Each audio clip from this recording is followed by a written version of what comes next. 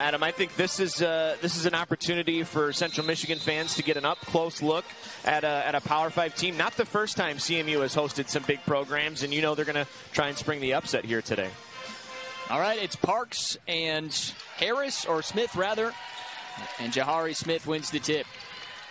So here's the true freshman, Bridget Utberg, who had the 21 points. They try to go inside, but a double team. And the Spartans get the first turnover of the game. That's something that Heather Oesterle mentioned to us. Her team, so many unforced turnovers to start the season. Yeah, really tough entry trying to go over the top of two Michigan State defenders there, but CMU stout defensively inside early. McDaniel misses the first shot attempt for Michigan State. Chippewas playing back at home after a couple of road games against Oakland and Indiana State. They open with a close loss against Valparaiso.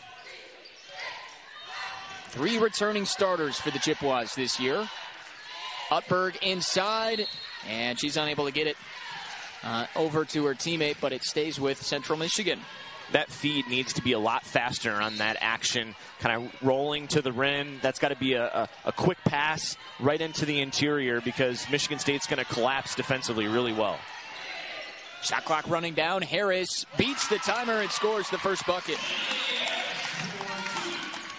Two freshmen have had a lot of success for Heather Oesterle's squad. Sydney Harris and Bridget Utberg scoring in double figures. Harris the leader at nearly 15 a game. That zone look at him here from Central Michigan defensively, trying to be compact.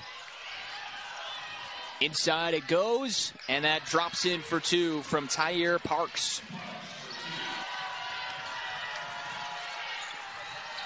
That goes across the lane, and Elliott threw it away.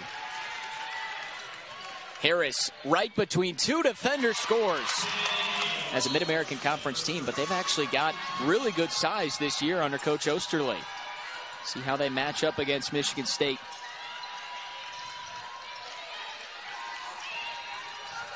Three ball from the corner. And that's down for Gabby Elliott, the junior from Detroit. Obviously, you want to play your tempo in this game. You don't want Michigan State to be able to get out and start putting up big points. Utberg, quick trigger, knocks it down. Out of Georgia, right? The freshman. Big minutes for Heather Oesterle. Yeah, Utberg celebrated a birthday yesterday. The true freshman, Woodstock High School, easy two for Parks. Knocks down both free throws.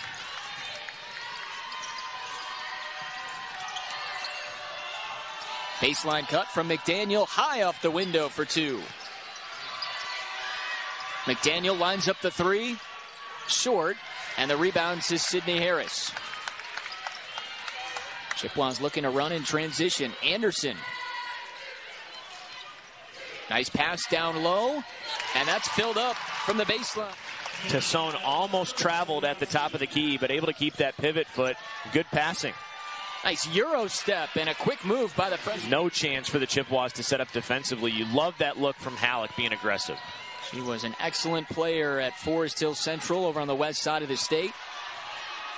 Harris is open, knocks down the three. Great to see her out there. First 6'5 player in program history. That's that height we're talking about.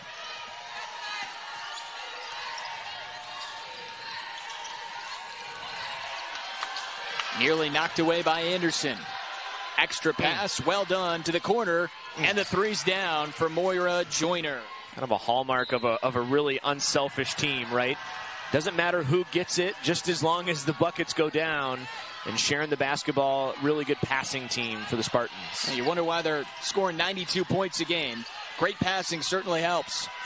Nice drive. Mm. There is one of those great passes. Easy lay-in for Alexander. The line change format, because at some point, once you get into Big Ten play, you're going to want to settle into a rotation, kind of have some defined roles going into some of those big-time matchups in the Big Ten. But right now, you can get a look at the entire roster. 17-15 Michigan State. Final couple of minutes of this opening quarter. Tough pass, and it's dropped in. I mean, that's insane. You don't have that very often. That's a healthy victory. Yes, it is. Yes, it is. Resounding, as they say. All right, Chippewas sit back in that zone oh, defense. Oh, yeah. That's just too easy. Nice lay in and fine. To wide open three. A little bit too long. Good attempt there from Walker. Up ahead, Elliott one on one. Right around Walker for an easy two. Third in the nation in assists, guys. All right, thanks so much, Ben. Yeah, they like to pass it around. Here's an open look to the corner for Joiner. Knocks it down right on cue. Here through the first quarter, and Joiner the latest to add to her total. Uh, just an easy giveaway, and Harris allows Elliott to get by. Despite Michigan State going in front and staying in front for a little bit now, rebounding's been huge for Central Michigan. A lot of one and done for MSU. Tough drive and make. Jean. Gets CMU back to within four. Eight minutes to play in this first half. That triple is in. We're coming from a really good DePaul program, so maybe playing time a bit of an issue. A nice turnover there for Central Michigan, but still being around that winning culture, trying to bring some of that here to Mount Pleasant. And sometimes you can find that second chance and it works out especially at a good mid-major program like CMU. Jahari Smith, tough take, her first two. You know, playing high-level high school basketball, you know you got to get it over the timeline. Yeah, and that's a handful of turnovers in the backcourt in this first half for Central Michigan. McDaniel bounces down low, good cut, and that rolls in for two. Kind of forgotten about over there by the CMU defense. Got to go. Elliott's played well with nine points. Chippewa's trying to get it across. They do. Tough catch by the freshman, laid off for Jean, who scores. Alexander one on one against Smith. A lot of contacts, but good defense, say the officials. And here comes CMU. Chance to tie or take the lead. Smith skips to Utberg, up for three. Got it. Central Michigan leads. 32 points this season. They have not felt the pressure of a road environment, like you said, or really a stiff opponent. Nearly get a turnover. Anderson finds Smith, and the Chippewas try and settle it down. 15 on the timer.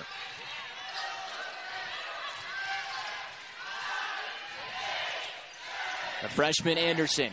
Floater, and that stays down. For Anderson, got to try and share the rock there in transition. And all of a sudden, Matt, for this Michigan State team, they haven't scored in over three minutes. It's a 12 2 Central Michigan run over the last five minutes. McDaniel trying to break the drought. Drops it off to Alexander, high off the window in front of John. The officials are letting these two teams play. Well, it's been fun to watch. That ball was knocked away. That's why there's no travel there. Joiner from the top. Got it. Michigan State back in front. Yeah, Good recovery defense by Michigan State. And Fisher comes up with it. Chippewas just looked out of sorts there. Joiner tries again. Hits it again. Six straight. 14 to 2017. All right, here we go in the second half. Anderson spins and misses. Here comes CM or uh, Michigan State. And Central Michigan hasn't scored in the last five minutes going back to the second quarter. That's another triple. This is the first points. Off the bounce. Hagemann and the loose ball cleaned up inside. Parks went right over the top. You're not doing Utberg any favors here by giving her the ball in the corner right there, making life really difficult. She goes behind the back, just lost it, and just a mess. One of the best teams in our state. Got to play another 20. Got to kind of bring it for the final 20 minutes and make sure that you, you show it just wasn't a, you know, kind of a flash pan performance. And the Chippewas right now, they've got to find a way, one, to break the press without turning it over, and then two, get some points over seven and a half minutes. Finally, a bucket. Rochelle while trying to throw it behind you and avoid going out of bounds. Three ball, and that's down. How about the first point in the half court as well as that full court pressure that's given CMU issues? Utberg, a little bit out of control, got it up there, almost like a pass. And Heather Oesterle's team has put up a great fight, but it's going to take a lot to beat this Michigan State team trying to get that first win of the season. To the corner, Joiner again. Yes. With a team like this, you know, young, a lot of inexperience, getting big minutes on the floor. It comes with time. You know, no one's saying that the expectations aren't being met. It's just you got to value the basketball, and the game's a lot faster here in college. And you know, Utberg seven threes against Indiana State looks like a couple really nice young pieces for Heather Oesterle's group. Nice turnaround. Here's one of those new. Here's Utberg, deep three, but she's open. And the rebound to Michigan State's Joiner. Excellent box out by Michigan State. No chance for an offensive rebound.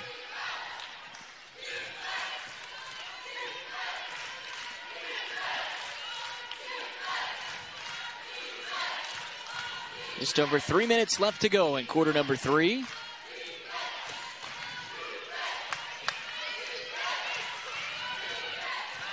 Shot clock is low. Joiner's had the hot hand from deep. She drives this time and runs it in. Michigan State coaching staff, you know, realized they were in for a battle and uh, got into their group a little bit. And you've seen a brand new team here in the second half. Turnover number 19 leads to an and another turnover. Turnover. Osmond in on Utberg scores two more. But just too many careless turnovers. Great save by Ekh leads to an open three. Hagemann misses, but an offensive rebound. Ekh tries and pays it off. Ekh's just kind of in the wrong place at the wrong time. No one home right there, but Jean misses, gets her own miss, and scores. Driving in, drawing the foul, and then following it up with her own offensive rebound.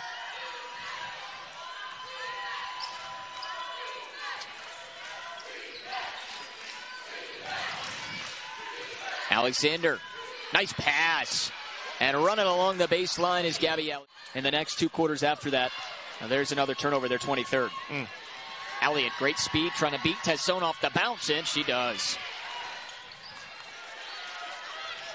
Tazzone straight away, pops out. Well, those are ones that you'd like to see go down for Central Michigan.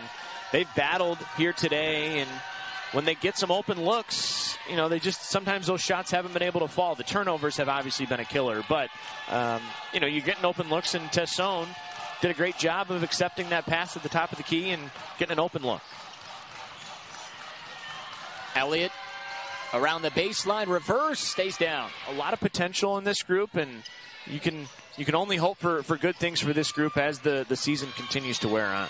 Another miss from Timpey. If you could bottle up that first quarter for Central Michigan, that's what they're trying to look like as this season continues. Take away the turnovers even in that first quarter, but the shots were falling. They played fearless. Nice slip from Alexander, and easy two. And knocks them both down.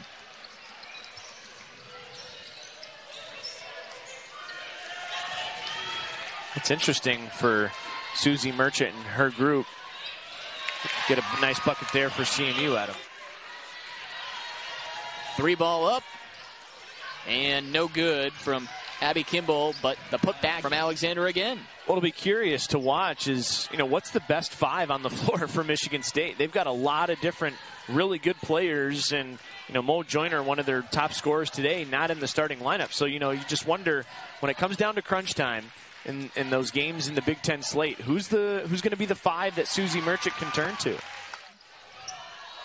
Inside, nice turnaround. Mm. Norris left it short though. Again, we, have talked about it this entire second half. The actions are good. You know, the sets tend to work for Central Michigan more times than not. The shots just have not been there, and sometimes you're going to have games like that. On the other side for Suzy Merchant's squad, first time on the road. They have looked excellent next two opponents in the Cancun Challenge.